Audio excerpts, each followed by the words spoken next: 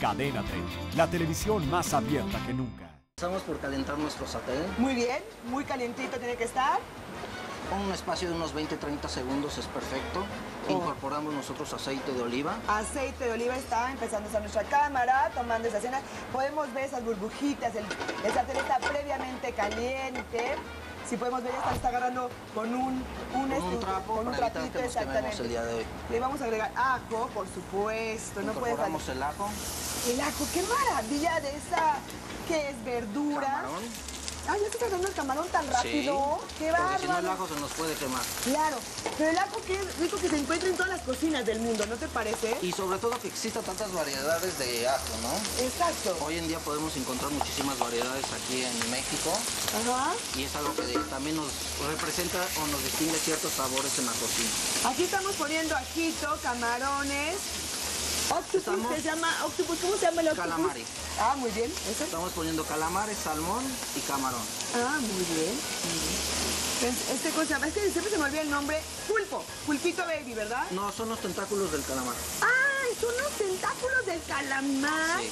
¡Qué delicia!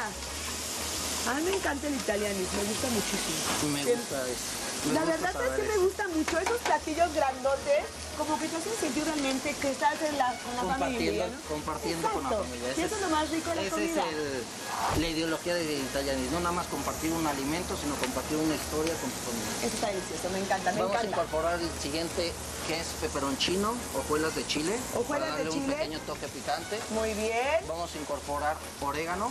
Orégano Sí, fresquecito. fresco. Me gusta más a mí cocinar con este, hierbas de olor frescas.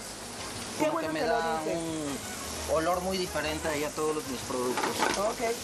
Ahora, ¿qué vas a agregar? Le voy a incorporar vino blanco, Vino blanco. que en la cocina se llama estoy desglasando, tratando de recoger todos los aromas. De hecho, si lo olemos, se siente ahí muy bien. Mm, bueno, ya huele esa cocina. Aparte, bueno, que cuando uno entra aquí a estas cocinas de los grandes chefs, de los grandes restaurantes, la verdad, se desprenden unos aromas y sabores deliciosos que, bueno, es cuando dices, realmente vale la pena. Dejamos reducir. Muy bien. Una vez que Las amas de casa viendo ya son las expertas, ya saben lo que es desglasar.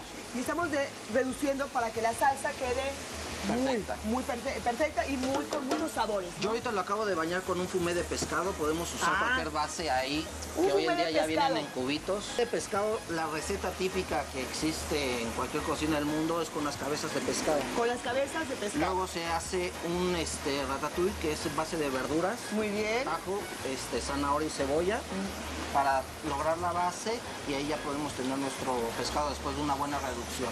Se le incorpora vino, le ponemos agua y le ponemos a cocer. vino, se deja reducir, agua Vino y- blanco. Vino blanco. Vino blanco. Se deja reducir un promedio a que se reduzca un 40%.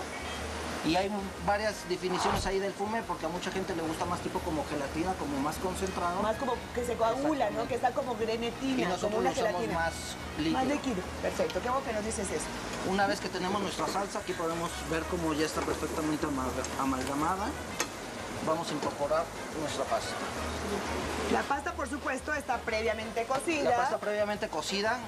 ¿Qué recomiendas de un buen tip darle exacto, a, la- a las, a las amas de casa que nos están viendo?